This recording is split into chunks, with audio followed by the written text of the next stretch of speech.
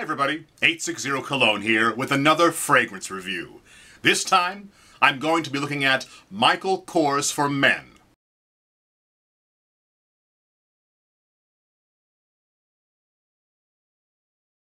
Michael Kors for Men is an eau de toilette released in 2014.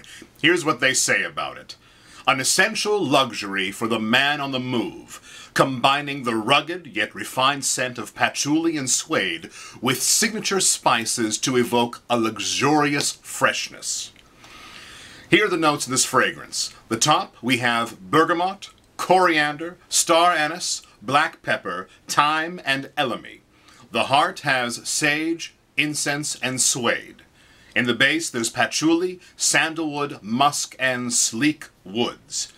The nose of this fragrance is Harry Fremont, or Harry Fremont, who has also brought us the original Michael for Men by Michael Kors, Power by 50 Cent, CK1 with Alberto Morillas, and he combined with Jacques Cavallier for Tom Ford's Noir de Noir, and Harry Fremont is the only nose that I can find tied to Tom Ford's Tuscan leather. Here's a quote by Michael Kors, and I'll try to do my best Michael Kors impersonation.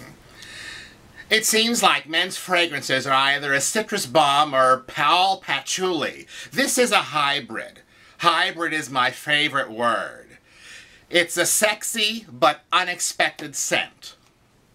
I like Michael Kors. He just got an interesting way of speaking. Now, sexy but unexpected. Unexpected, yes. Out of the bottle, I get pepper and BO. Not in a good way. That's body odor.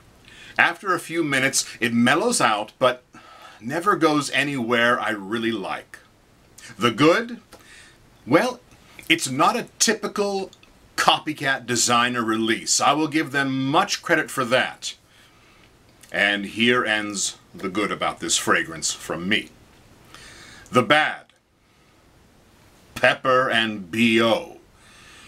I like pepper. I like many fragrances that have pepper. This may conjure up some memories of Marc Jacobs Bang, which I liked, but there is no incense and not many redeeming qualities to this for my nose, and I did get a lot of compliments and a lot of niceties out of Marc Jacobs Bang.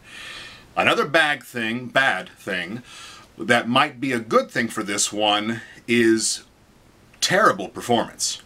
I get maybe an hour or two at the very most until I have to start hunting for it, which is probably good. This has a complete line released with it. The 4 ounce bottle is going to be $78. 2.5 ounce is 62 the 4.2 ounce aftershave splash is 45. A 5 ounce aftershave balm is also 45, and the 5 ounce shower gel is 45. Is it worth the money? No.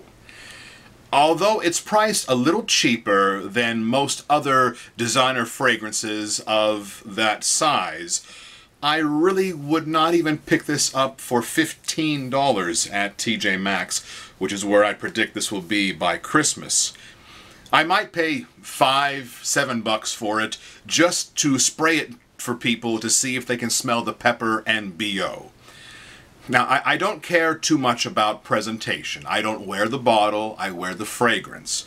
But this one is very minimalistic, almost to a fault. In the display case, it's hard to even recognize what this is because the writing is so small and covered up usually by the display case edges and the box is not really that exciting. Neither is the bottle with this kind of a cheap plastic top with this marbleized, dark marbleized plastic.